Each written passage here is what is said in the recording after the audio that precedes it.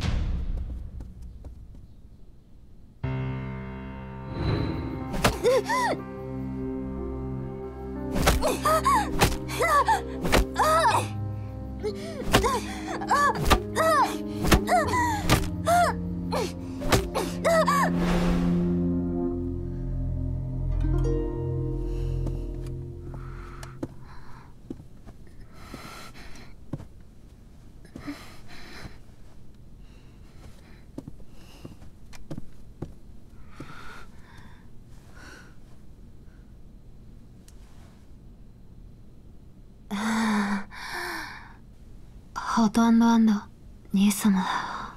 我母亲说提点过了，我就知道你要遭殃了。唉，这大坏世子的帽子扣下来，免不了这顿责罚。先起来吧，来。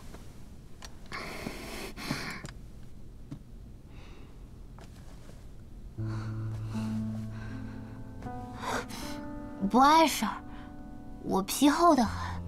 这点打对我来说不算什么，啊！我母亲要做管教我的样子，所以才让慕容大人斥责你。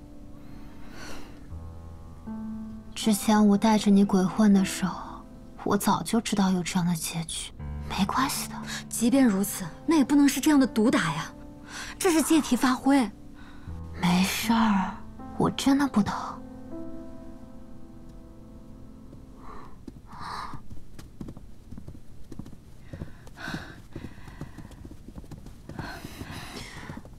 见过母亲大人，下臣慕容瑜见过世子。慕容飞羽见过世子大人。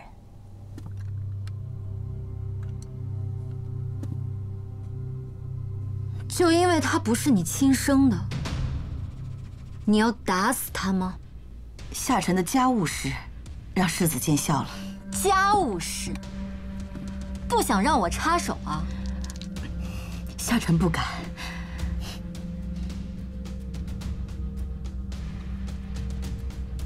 你是亲生的，是。飞羽乃是慕容府的长房嫡女，嫡女。若她生母没死，若她没过继给你母亲，何时轮得到你自称嫡女啊？你，不过没所谓。既然你来了，我便省事儿。世子殿下，世子，万万不可。他在这儿跪了多久，你就要在这儿跪多久，否则我会很不高兴。母亲，听世 子的话，跪下，跪下！世子，杖刑二十吧，我会派人在这盯着。世子息怒，下臣一时气怒，对婉清有些苛责。三十，还请世子看在慕容家同事四十，来人呐！母亲，准备杖刑。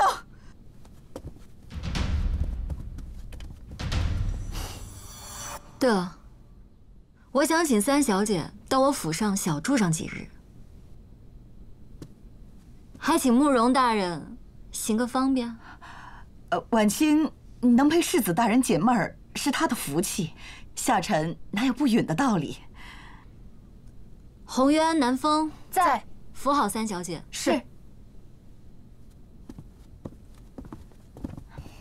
恭送世子殿下。听闻慕容大人新起了一座庄园啊？确实，于城郊三十里处。正说待舒大人返京之后，携世子一同光临。这园子有多处僭越，不如重新修整，怎么样？殿下明察，此园在修建之时就已知会过礼部，怎会僭越？况且世子你也没去过呀。我说他僭越了，就是僭越了。世子说的是，下臣这就着人严格检查，及时改过。不如一把火烧了吧。嗯，是。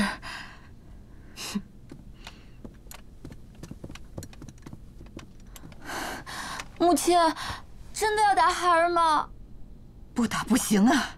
本以为这个世子成熟稳重，没成想，竟是个混世魔王。来人呐，给我打！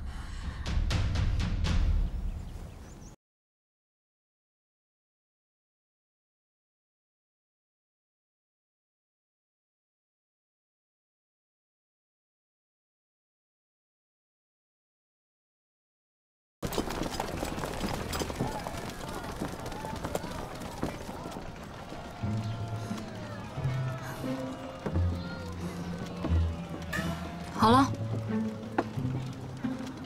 你还是去吧，要不我不去。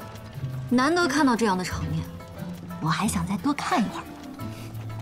我是因为谁才变成这样的？你心里没数啊？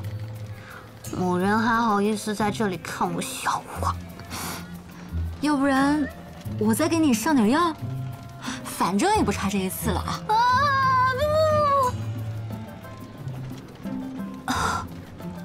你看吧，随便看。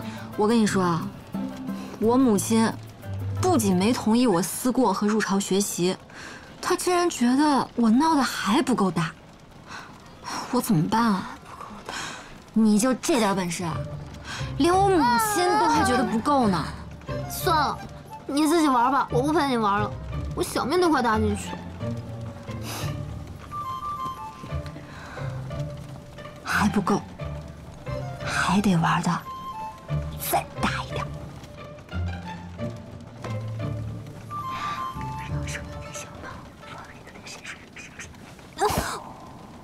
你想气死舒大人啊？嗯。红渊，吩咐下去，我们去凤楼。是。不是，舒长，我现在这个样子也不太适合逛欢楼吧？你去不去？红丫，走去凤楼。是，真乖 呀！来来来来来，给你扶好啊。